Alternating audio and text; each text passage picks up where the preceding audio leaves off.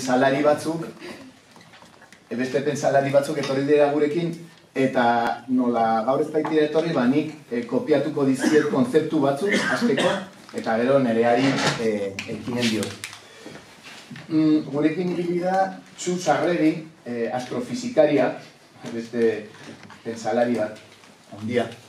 Eta berak lehenbiziko gauza erraten du, e, hau tarzan, bakizu, tarzan e, ziminoen e, jauna, tola. Tarzanik ez dela izan. Tarzan dela asmakuntza literario bat, jendea ez da sekulan bakarrik bizi izan, ez bada kasuren bat, irla galdu batean, ez. Hemen, planeta honetan, jendea espezie gisa antolatu izan da, ba, zira batean, ba, tribu, eta, eta herri, eta olakoetan. Eta antolatu dira, eta gainera, beren burua, jakin izan dute, ba, besten, beste, e, tribu, mm, herri, e, komunitaten gandik. Beraz, bueno, bakigu, homo sapiensa, e, garela espezie e, soziala. Euskal Herriaren kasuan, Euskal izena eta herria deitura. Euskal herria gara. E, naiz eta batzuk, tematzen diren intelektual batzu, ez ez herria, gizartea. Eta e, gu ez gara e, zerak, baina e, ziudadania edo, edo iritargoa talako.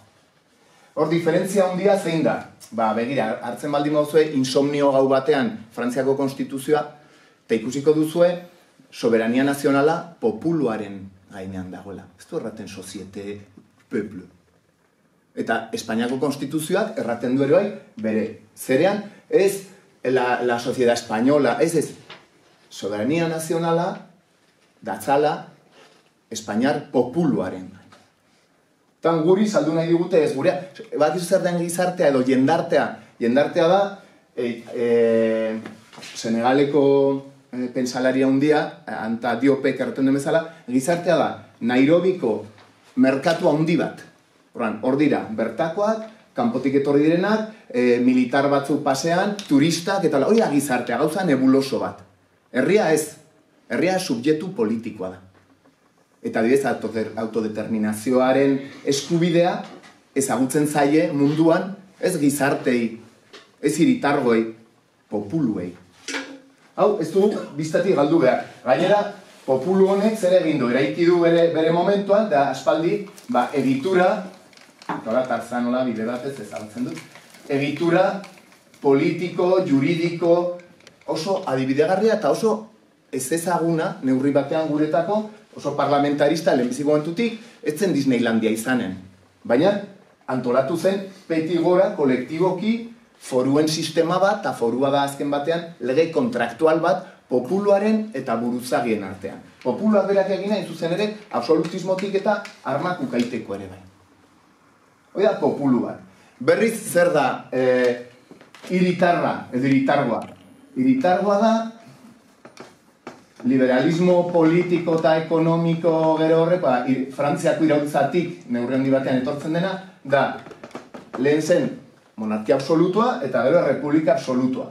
Eta errepublika jainkotiar horrek gizabanakoari, jende bakotxari, ematen dion karta bat. Tori, iritargoa. Oa, mil esker. Oa, eskerrak instituzio eta hola, bakotxari.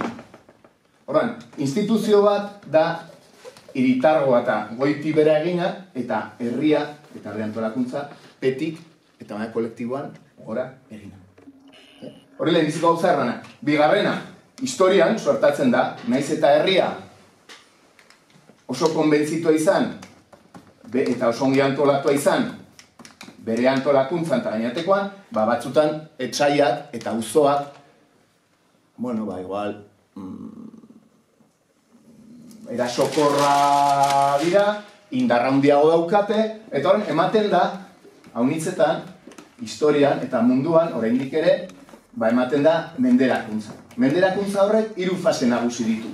Eta hau bigarren parte hau, bigarren eskema hau, kopiatu diot, e, Mikel Erauskini. E, PowerPointa, pixat. E, Mikel Erauskini karaten du. Herri bat, menperatzen denean, ez da sekulan eman nire ustez historian herri batek ireki dituela bortak eta bai, sartu, sartu.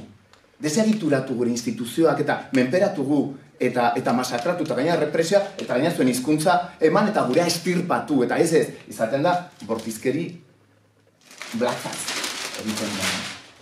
E,